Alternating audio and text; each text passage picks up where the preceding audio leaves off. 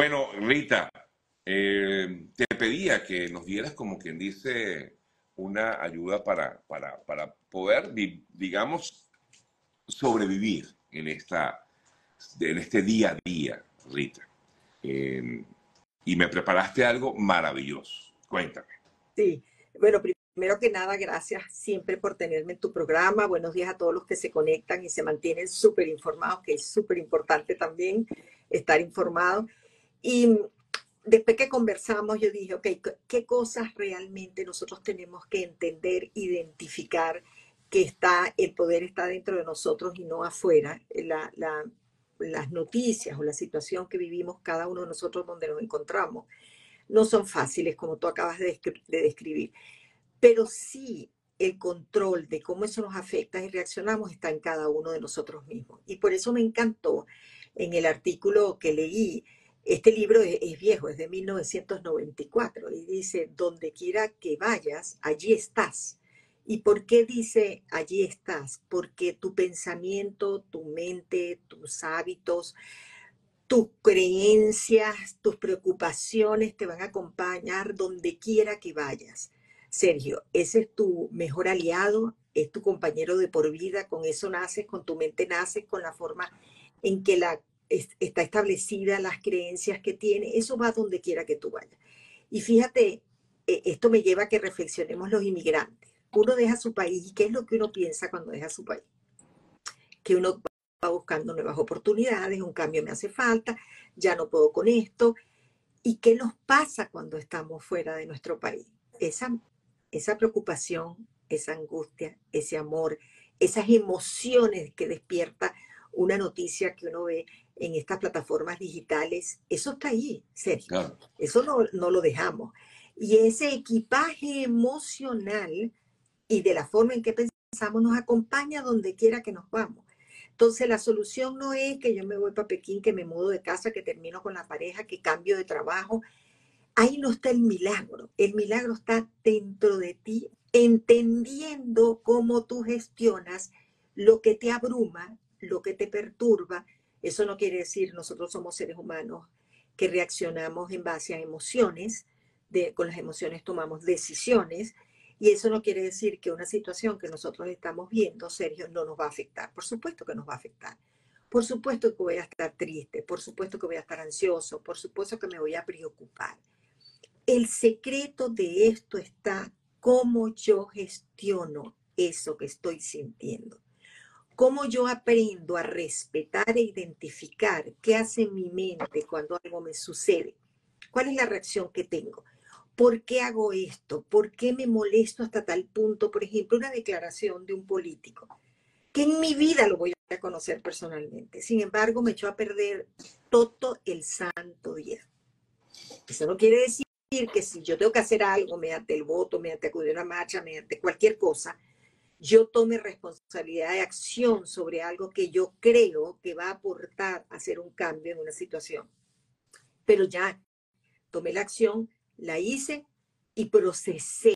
Voy como bajándole esos desniveles a eso que, que me causa esa ira o pasar dos o tres días serios, tristes. O sea, la intención en todo caso sería, Rita, la intención sería no darle importancia a cosas que puedan perturbarme, sabiendo que yo sé que eso me puede eh, perturbar como tal. No, tú le puedes dar la importancia que tiene. Tú no puedes recibir una noticia de algo que a ti te parece injusto y decir, eso no me importa. No, eso me importa. Ahora, ese pensamiento, esa preocupación tiene un, un reflejo en tus emociones. Eso sí lo puedes gestionar tú y esto es importante, esto me afectó, yo que tengo que tomar acciones, déjame ver si yo puedo ir a una marcha, déjame ver si yo tengo que votar, déjame ver si yo hablo con mi jefe, porque esto me parece una injusticia, pero no es que tú te quedas con eso y tu cuerpo lo somatiza y no puedes dormir y, y tienes dolor de cabeza tres días, porque ahí tenemos un problema gestionando el impacto que algo que nos importa, nos está causando en nuestra mente, en nuestras emociones, en nuestra salud mental, emocional y física. Esa es la responsabilidad. Y cuando nosotros identificamos eso, Sergio, mira, por ejemplo, yo veo algo y me parece un chiste me parece que el mesonero fue gracioso, pero si estoy comiendo contigo, tú te paras y le dices, mira, me haces el favor y me cambias el mesonero. Ante la misma, el mismo hecho, tú y yo podemos tener reacciones distintas. Yo tengo que saber cómo reacciono yo y qué debo gestionar ante esa reacción. Y por eso les digo que eh, huir de uno mismo es imposible. O sea, nuestro equipaje emocional está en Venezuela, está en, en, Miami, está en Canadá, está en Brasil, está en Buenos O sea, tú te puedes ir a la China, pero no vas a huir de ti. Exacto. De tu, mismo, de, tu situación personal. Exacto. Y de la, manera en que yo gestiono. Y todos los que nos están viendo deben estar diciendo, sí, Rita, está muy bien. ¿Cómo hago para que esto, este, yo lo pueda mejorar? Y, y traemos siete tips que son, Sergio, súper fáciles de aplicar. El primero es reconoce y acepta tus emociones. O sea, si yo de verdad soy impulsivo, si yo este, eh, contesto de una manera rápida sin pensar, yo tengo que empezar a entender, ok, la reconozco, yo tengo que bajarle dos a esto, cuando eso me pase debo contar un, dos, tres, cuatro, cinco, seis, dejar que esa, esa emocionalidad baje un poquito para que yo sea un poquito más racional. Pero está bien, las identificaste, las aceptaste y las corregiste. Uno no cambia un hábito si no reconoce que lo tiene. Porque si tú me dices a mí, Rita, pero es que tú todo el tiempo eres muy reactiva y yo te digo, no, yo no soy así. Ahí nunca va, se va a procesar el cambio, Sergio, porque yo tengo que aceptarlo. Eso me pasa cada vez que tengo algo, un, disparador. La segunda es identifica y desafía tus pensamientos negativos, Sergio. ¿Qué pasa ante cualquier situación? Yo siempre me engancho de la parte negativa. Oye, pero tú crees que eso será verdad? Yo hablé con ella, ella me dijo que a lo mejor me iba a llamar para ver si me ofreció un trabajo, pero eso a veces ofrece, pero eso no se da. Ya tú ahí estás manejando la emocionalidad de que te van a rechazar, porque ese fue tu diálogo interno. ¿Eso se cambia de la noche a la mañana? No, pero se cambia cuando tú identificas y empiezas a sustituir esos pensamientos negativos por decir, ok, puede ser que no me llame, pero habrá otra oportunidad. Pero ahí dejé mi información. Conversé, creo que conecté con ella, vamos a ver.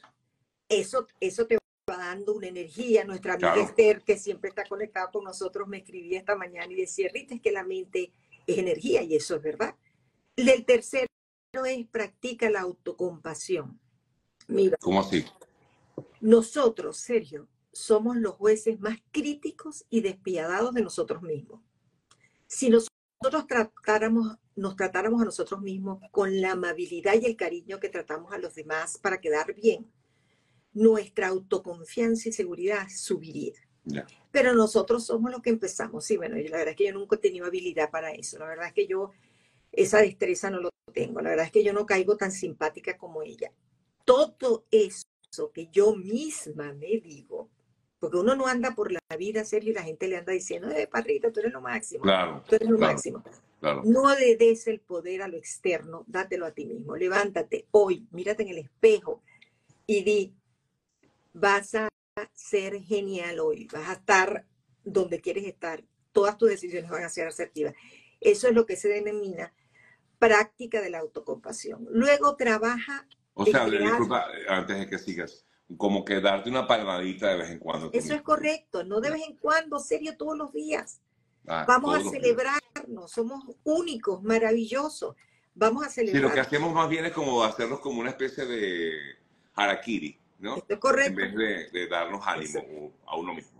Exacto, fíjate lo que dijeron las noticias de la economía, esto no va a cambiar nunca, ¿sí? Yo, yo para dónde voy a coger, yo de paso, que, que no hablo portugués o no hablo este, inglés, no, no, no, celébrate, porque la celebrar genera una emoción y una energía que tú necesitas para continuar porque la verdad que el éxito más grande que un ser humano puede tener es reconocer cómo él se automotiva, no que lo motiven, se automotiva.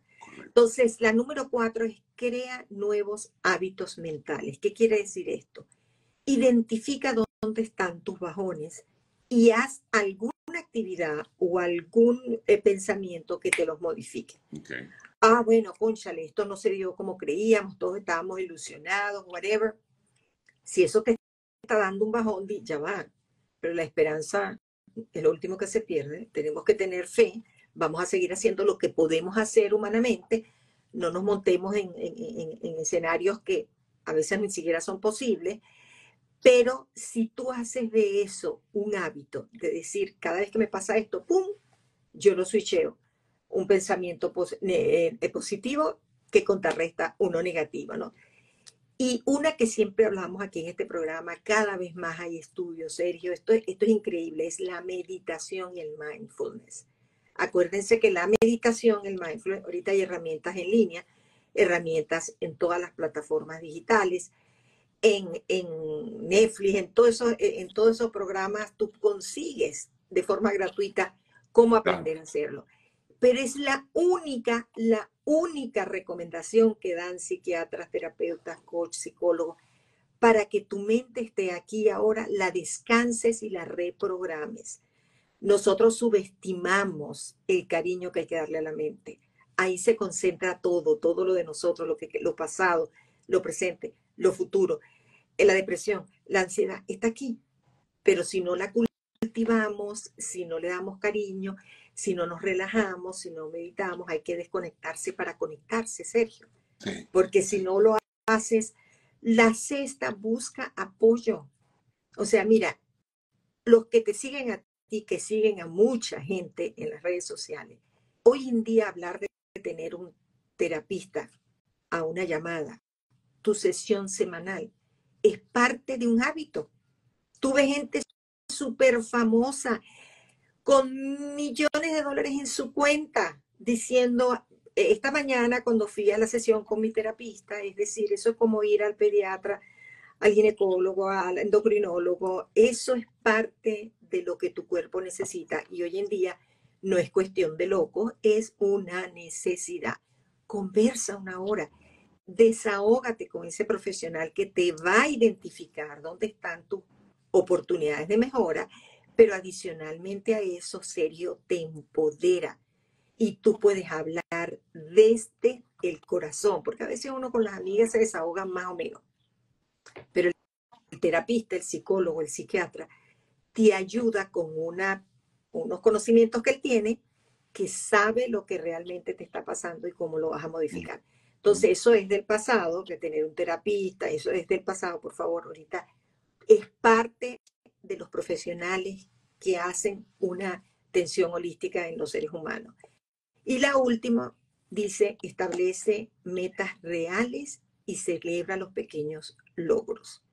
Mientras tus metas son más reales, serio, los logros, los pequeños logros los valoras más y los celebras más. Pero ¿qué pasa? Nos ponemos unas metas inalcanzables. Claro. Y, y cuando eso no se da, tú te imaginas el nivel de frustración, de depresión, de tristeza que uno siente porque dije, conchale, yo, imagínate, tenía una ilusión que yo iba a entrar a la NASA, y, y, pero nunca ni, ni, fui a la universidad, conchale.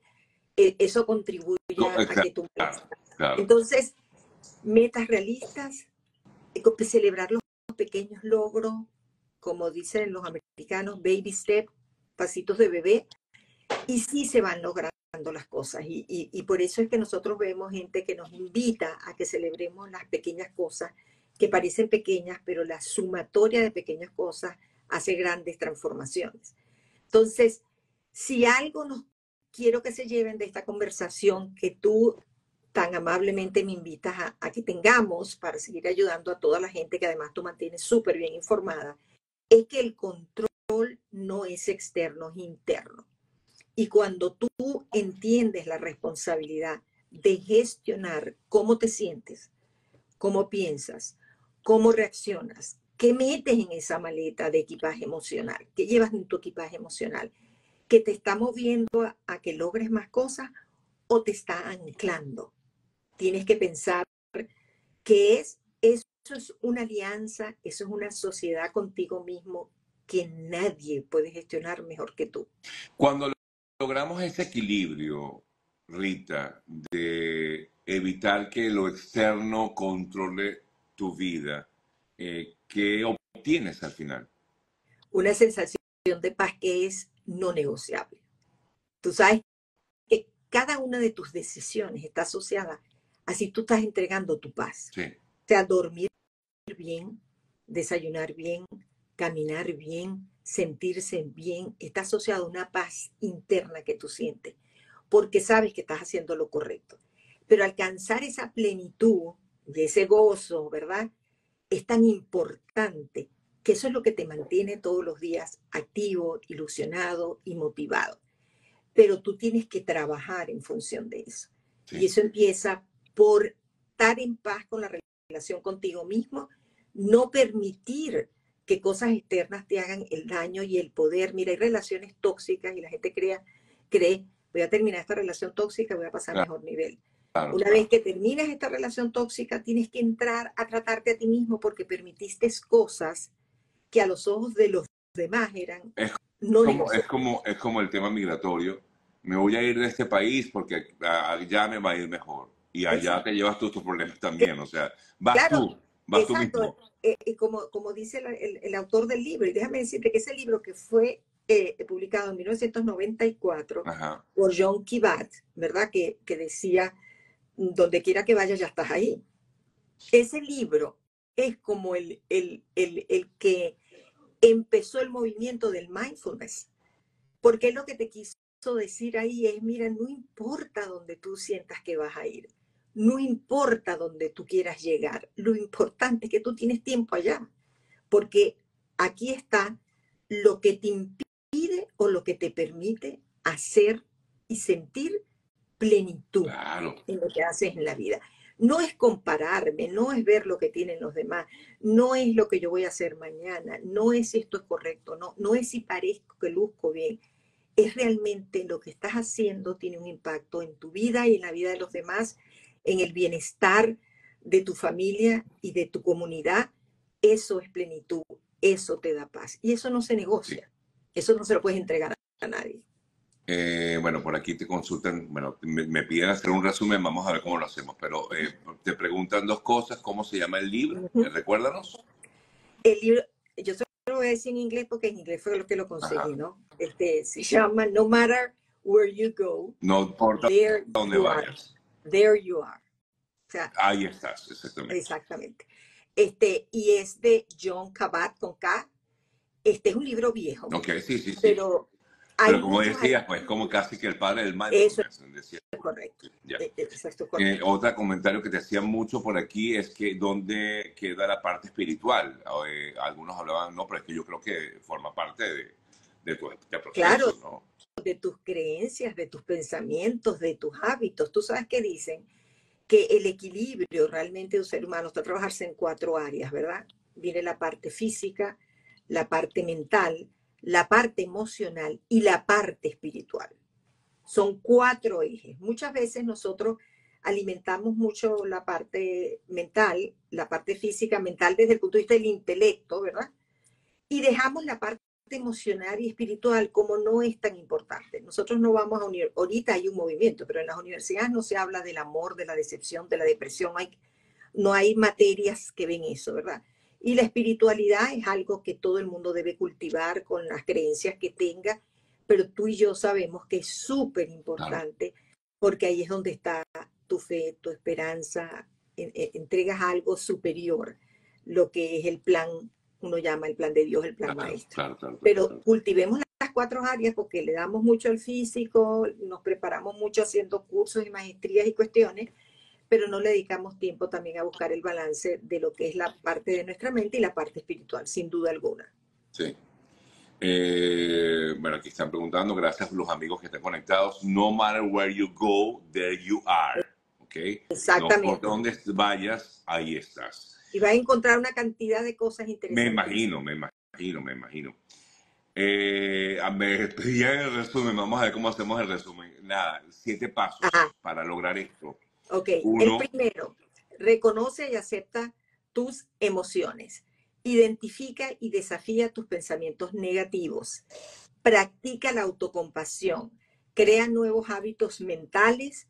Eh, meditación, evidentemente busca apoyo y por último, eh, establece metas realistas. Y esto es muy importante ahorita, Sergio. Estamos ya terminando un año, vamos a comenzar unos nuevos, hagan auditoría de qué se plantearon este año y qué lograron. No se autocastiguen, no importa, si lograste el 20%, lograste el 20%. ¿Qué puedes modificar de lo que hiciste? No seamos tan duros con nosotros mismos y tan compasivos con los demás.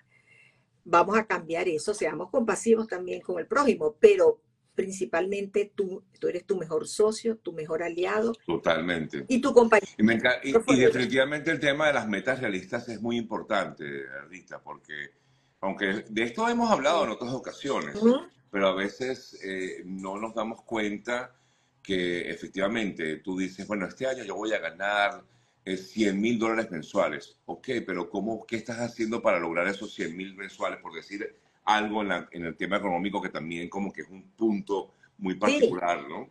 Y, y, y, y, pregúntate qué estás haciendo hoy para llegar Exacto. Mira, a mí me encantó un, un, ejercicio que hicimos en una oportunidad y era que en, un grupo de personas y bajamos la, la, las luces del salón y le pedimos a cada quien que se viera en su propio este, funeral.